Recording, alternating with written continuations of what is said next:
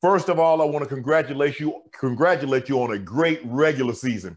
At the start of your season, tell me what are your thought process? What are your goals? How do you go about laying out this is what I want to accomplish in a given season?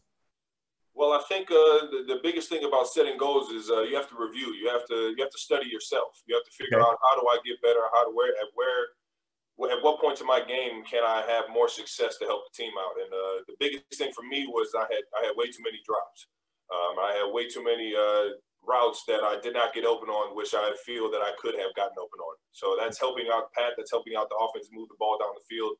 Um, in terms of first downs, I wanted to do more more in terms of that, and then touchdowns. I wanted to put more touchdowns up. I thought um, anything in single digits just isn't enough. I'm not doing enough for my team. So individually, uh, you set you set you know goals for yourself uh, statistically, but at the end of the day, I mean, winning every single game was the was the biggest thing on my mind. I, I felt like our team was good enough, uh, offensively, defensively, and special teams wise to to go out there and uh, and win every single game. And so far, we're we're very close to that, but uh, we're uh, we're working for uh, the number one goal, which is to get another Super Bowl, man.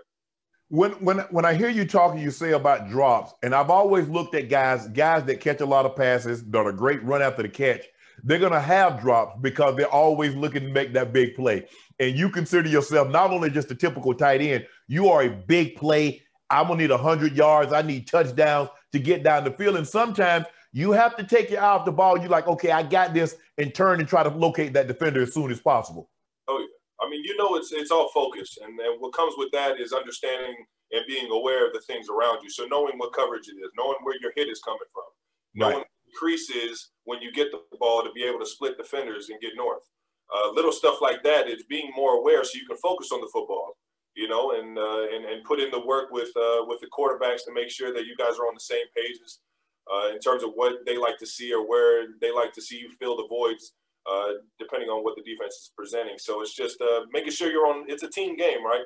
So right. You stop trying to either help pull defenders to help guys get open, or at the same time uh, be able to get the ball north as fast as possible. But I think uh, having uh, drops in themselves are inexcusable. All it is is just lack of focus. And uh, over the course of my career, I've really um, tried to hone in on, on on staying focused throughout the course of the game and not letting the game uh, become too much.